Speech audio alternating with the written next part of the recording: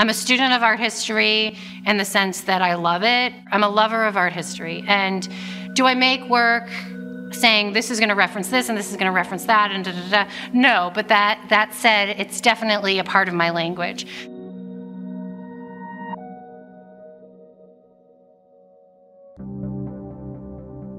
I know there's a lot of artists that are very self conscious about being too referential. And for me, um, I, it doesn't bother me. I, I, like the conversation that happens. I like to be in, converse, in a dialogue with history. Um, and I think what's, what's great is that we sort of take these building blocks of performance and painting and sculpture, and then it's our responsibilities, uh, responsibility as contemporary artists to sort of build on that language. Well, I'm really interested in this like 1950s woman. Clearly, those are the women who I grew up with there's still this this like kind of there's this crutch of that of what that woman is even though they've become so not that. Um, they're still like performing for i don't know if it's for like a patriarchal society but they're still performing in a way that's a very how they will be seen.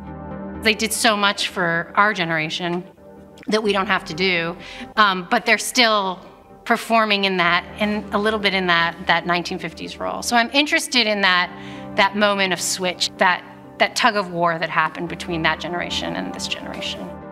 It was really clear when I was in school that like people weren't that into the sculptures. They were into like talking to me, um, and they were into the chaos of what happened when I made stuff.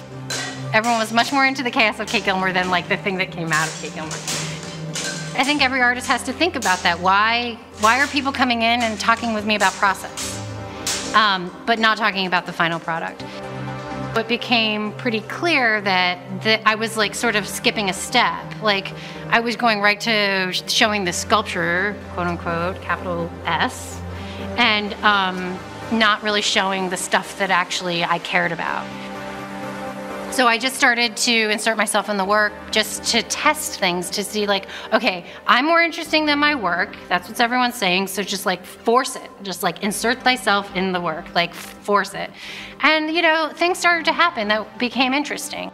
The earlier work was definitely more like body dealing with object. So it was very clear. Like the earlier work, like there were either, you know, tight shots, so you could really see a lot that was going on with the body, with like the body in some sort of turmoil. Um, and now I think what's happened is it's still very important that there is that expressionistic quality, but the sculptures, the objects have sort of taken on the role that I think the body took on before.